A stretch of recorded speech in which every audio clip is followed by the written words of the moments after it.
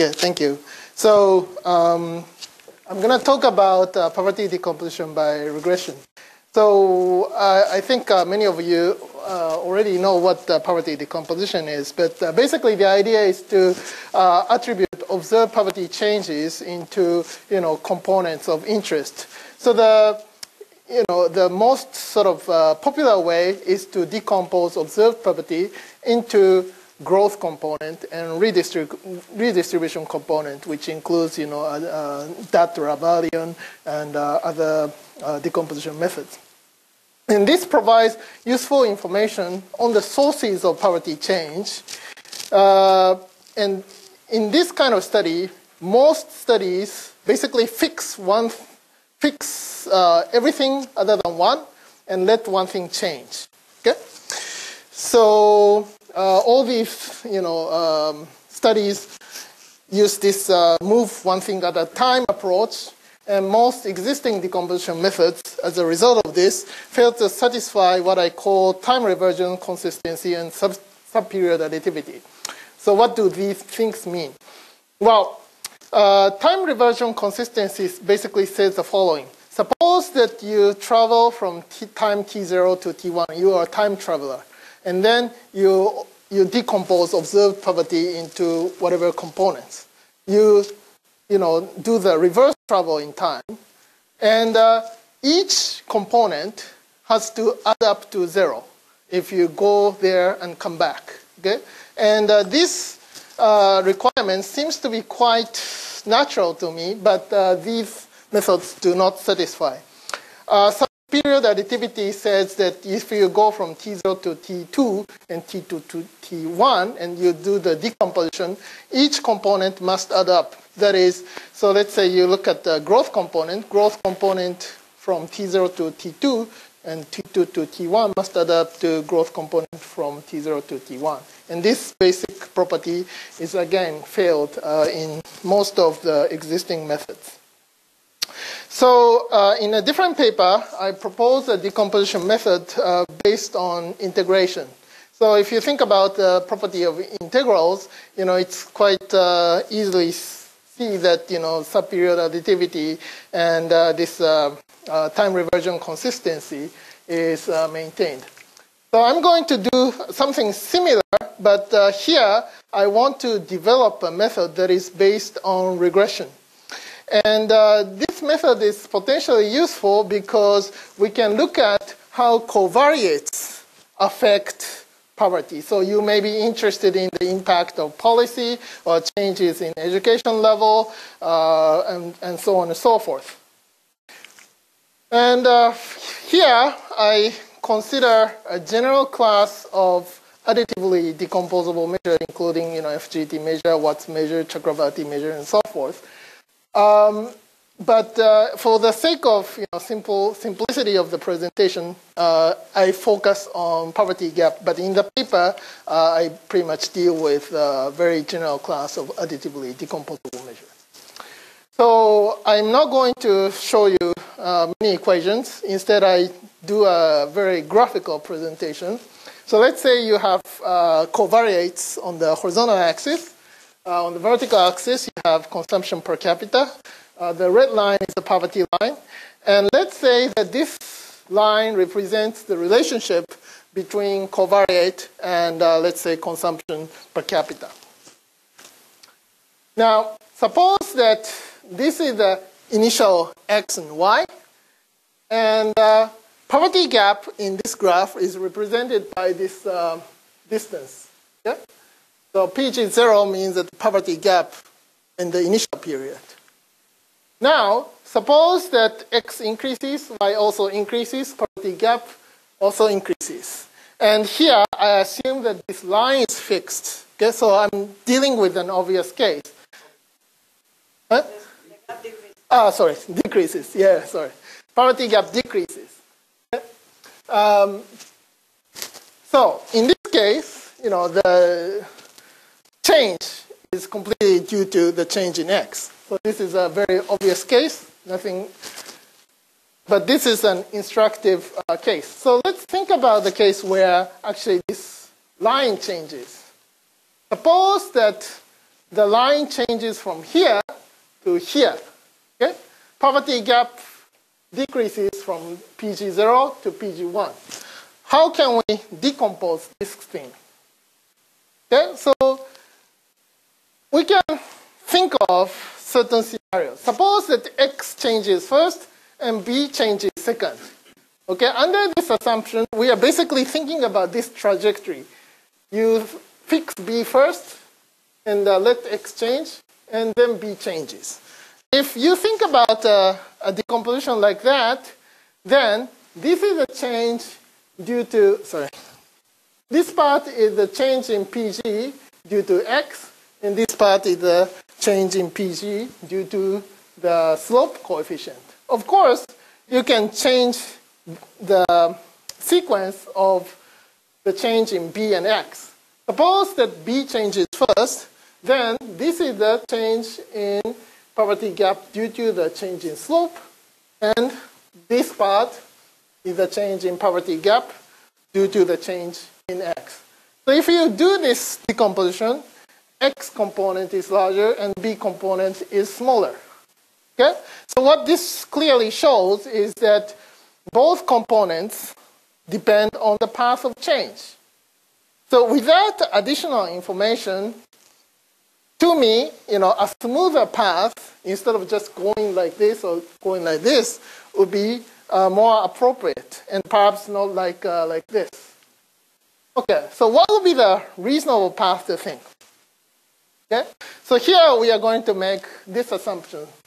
So x is linearly changes and b linearly changes. If you have additional data, you can uh, calibrate this, but I think this is more reasonable than assuming that x changes first and b changes second, or b changes first and x changes second. And uh, under this assumption, um, actually the change is quadratic. If I just show, have shown this picture, you might have thought that you know linear change is reasonable, but it's not. The reason is that if the slope is going up, you would expect that you know y would be changing y would be changing faster towards the end of the time period if you believe that x also changes linearly. Now, uh, under this assumption, uh, you can calculate the contribution of uh, b and x. Uh, this is a very simple uh, algebra. So let's see how you know these you know, uh, formula relate to the graph that I have shown earlier. So actually, under the assumptions that I have shown, um, the change will be like this. Okay? And um, x half is the value of x at, time, at time you know, t equals 0.5. And this level of y is actually smaller than the average of y0 and y1 okay, in, in this graph. Okay, that's not generally true, but uh, under the assumptions that are shown there, uh, this is true. Okay? Now, that this dashed line is a line that has the same intercept, but uh, coef coefficient of the average of B0 and B1, you can let's say, and this, this one obviously goes through x half and y half, push it down, okay? And then you have a parallelogram here. In this picture, you can see that this is a component, x component, and this is a b component. So what does this mean exactly? Well, this distance is the x1 minus x0 times half of uh, average of b0 and b1. Okay, so that's the x component. And this distance is equal to this distance, okay, which is just uh, change in um, y due to uh, the change in slope at the middle. Okay? So this is how it relates. Now here, so far, I have, I have completely ignored the existence of residual. Okay, so I have been looking at a particular person, but usually, you know, when you have a real data, you don't have a you know, exact line like this. Okay, if you fit the line, you know, there will be an error. So how do we deal with it? Okay, so again, I can deal with it in a similar way. I assume that uh, error changes linearly, and with this, uh, I can actually decompose into the changes in you know, different components, including the intercept, slope, change in covariate, and uh, error term. And here, you know, the covariates uh, do not have to be just one variable. It can be, there can be you know, many variables. Yep. Now, one you know, question you might have is that uh, what, what do you do if you have poverty rate? Okay? It's discrete. So it doesn't have all the nice properties. So um, I'm still sort of experimenting, but uh, one, one thing that I'm doing right now is to you know, use uh, expected poverty. I just run regression and uh, look at the poverty, uh, expected poverty rate as opposed to observed poverty status. Okay, so now let me move on to the application part. So I apply uh, this method to Cote d'Ivoire and Tanzania. For Cote d'Ivoire, I use a, a CILSS, um, uh, Cote d'Ivoire Living Standards Survey for 95, 85, sorry, 86, 87, and 88. This is a rotating panel. Uh, so 85, half of the observations in 85 and 86 uh, is a panel, half of observations uh, in 86 and 7 is panel, and so forth. Um, and um, uh, in Tanzania, uh, I use Tanzania National Panel Survey uh, for 2089 and 2010-11.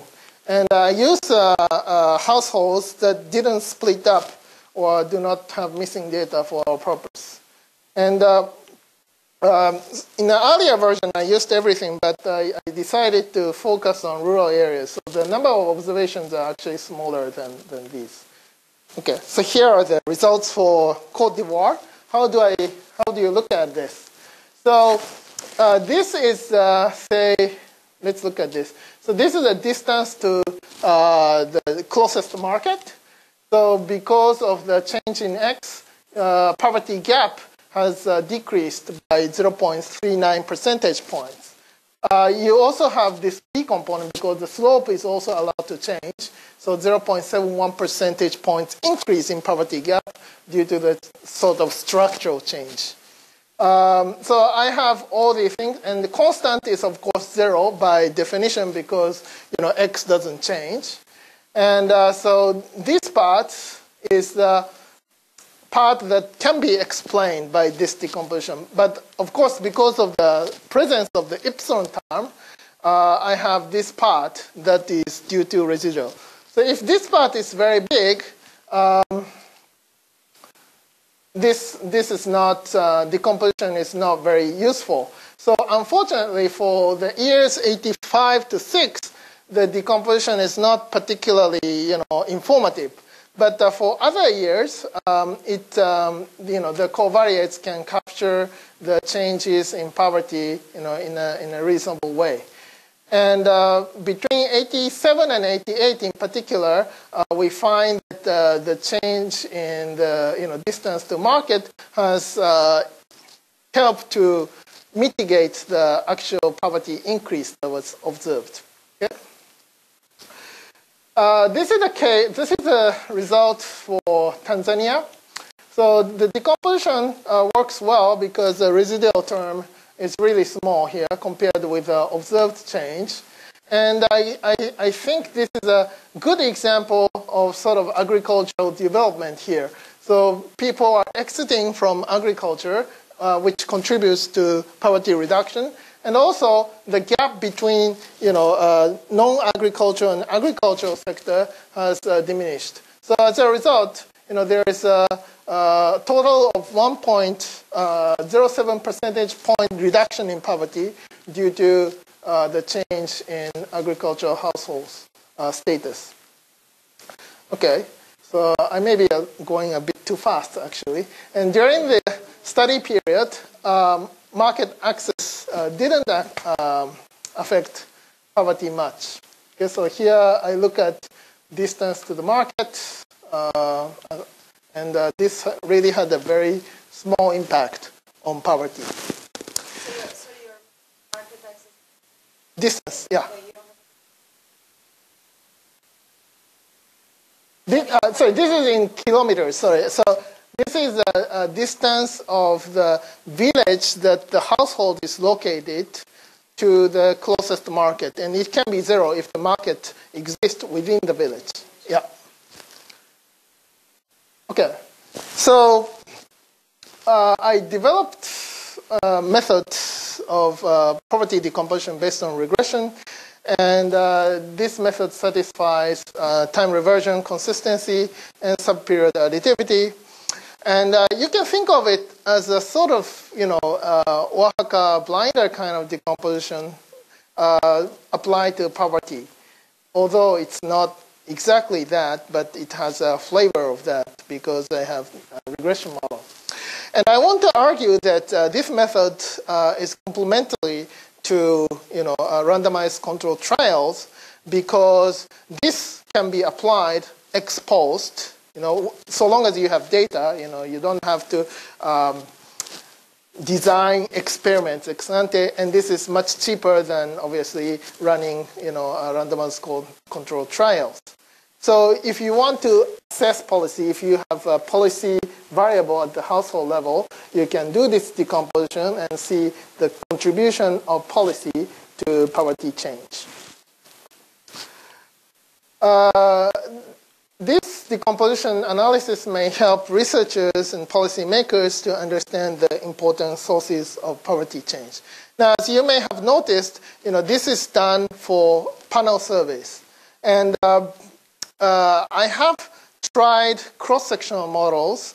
Uh, I, I, can, you know, make much stronger assumptions and do a decomposition, but uh, so far I haven't been really you know, successful in getting uh, compelling results. So I, at least for this version, confined myself to the uh, panel model. Okay? Thank you very much. Uh, okay. Uh, okay. So, so um, I guess you know the application part is um, uh, can be improved. Uh, I guess the the data is you know, because the panel, uh, the timeline between the panel is a bit short, which means that many of the x's actually don't change. So I, I thought about a lot, lot of candidates. So if you have, you know, if you know of any data that uh, is more appropriate for this kind of method, I would uh, love to know. I, I really much, uh, very much uh, uh, appreciate your inputs uh, for the ideas of, you know, better application. I'm not trying to sell that this is the best application that I can think of. Okay, thank you very much.